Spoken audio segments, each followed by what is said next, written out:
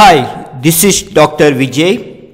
So in this video we are going to study about the mechanism of enzyme action. More precisely, the two theories or hypotheses or models which are proposed by the scientist starting from 1890 and these two models so explaining the various action of enzymes on the substrate or during catalytic process. So the any enzyme catalyzed reaction we can write like this. Enzyme combines with the substrate and they will form an intermediate called enzyme substrate complex and this enzyme substrate complex eventually broken down or converted to enzyme and product. This is for any enzyme catalyzed reaction where there is an intermediate enzyme substrate complex which will be in a transition state. So there are two models or hypotheses for the explanation of enzyme action. So the first model is called lock and key model. And this hypothesis or theory or model is also called rigid template model. And this model or hypothesis is proposed by Emil Fischer in 1890. It's also called Fischer model. The second model or hypothesis is called induced fit model. And this induced fit model is also known as hand in glove model. And this theory is proposed by Daniel E. Koshland. So this theory is also known as Koshland model. So there are two hypotheses. One is Fischer hypothesis, another one is Koshland hypothesis to explain or to understand action of enzymes.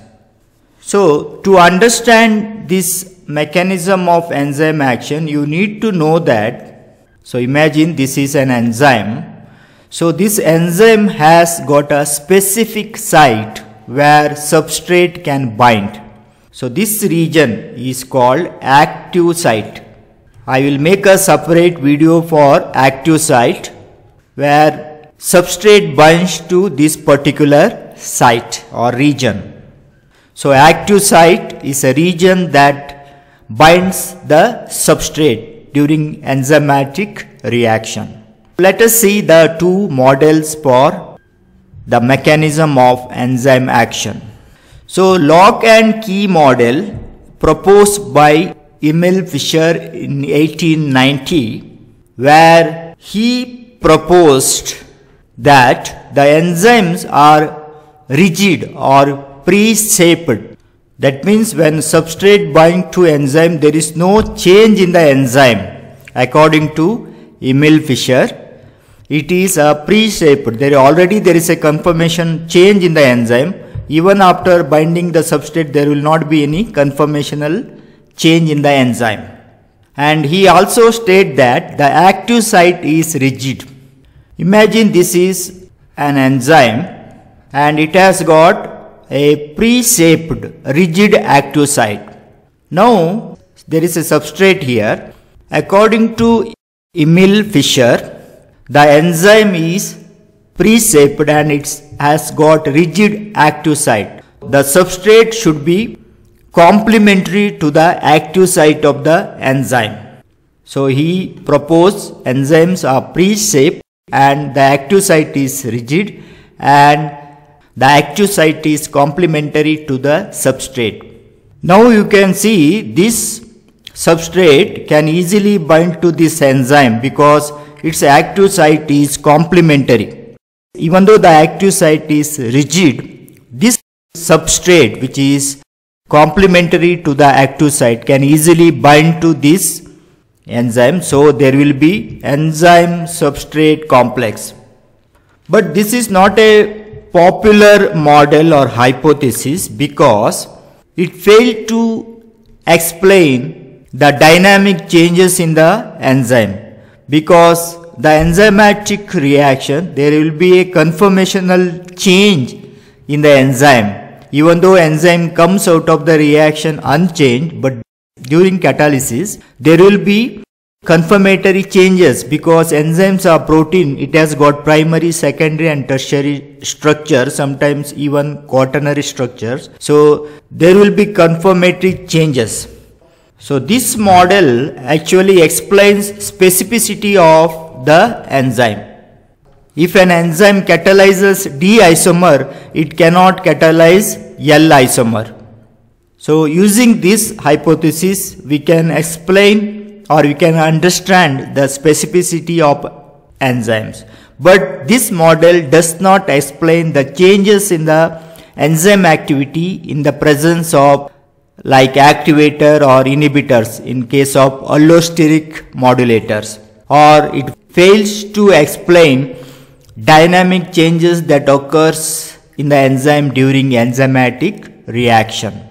So this Emil-Fischer hypothesis or model or rigid template model is also called lock and key model because here the substrate which binds to enzyme just like the key binds to lock.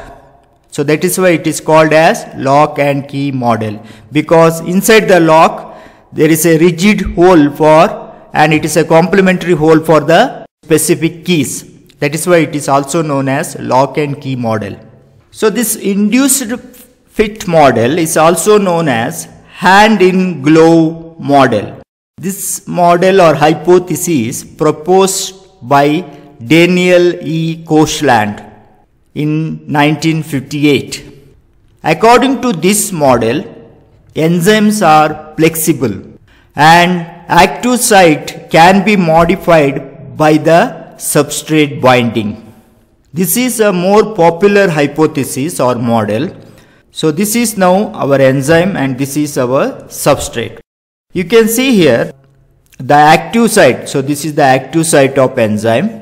So this particular region is active site of enzyme.